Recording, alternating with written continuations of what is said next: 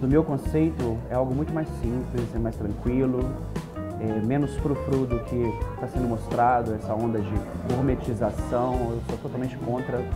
Acho que a gente pode fazer do simples com criatividade algo extremamente bom, gostoso, diferente, sem encher muito, sem muitos adornos, sabe?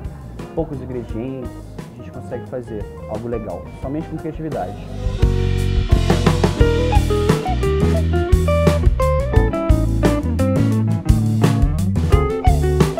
O que eu pensei aqui para o café foi dentro dessa, dessa linha. Eu, desde o meu começo como bartender, eu gosto muito de trabalhar com simplicidade. E eu acho que se você tem ideias boas ingredientes bons, você consegue produzir algo equivalentemente bom.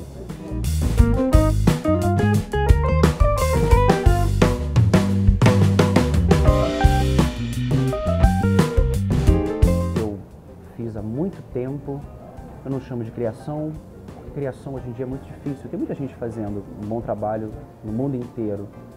Mas é uma ideia que eu tive na época do Mambo ainda, e é um coquetel que eu acho fantástico, principalmente pela simplicidade. São dois ingredientes somente.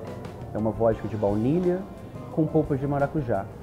E eu, eu acrescento, às vezes, o limão siciliano somente para decoração, sem acrescentar nenhum sabor. Mas é um coquetel que exemplifica, bem o tipo de trabalho que eu gosto de desenvolver. É a coisa do minimalismo, porém criativo.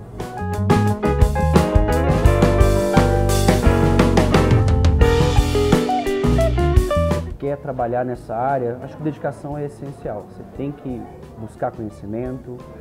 No nosso caso específico, que está dentro de gastronomia, você tem que buscar um ou outro ingrediente, talvez até que você não conheça ainda, para você começar a formar dentro de você algo que o Tony coloca muito bem como biblioteca de sabores e aromas.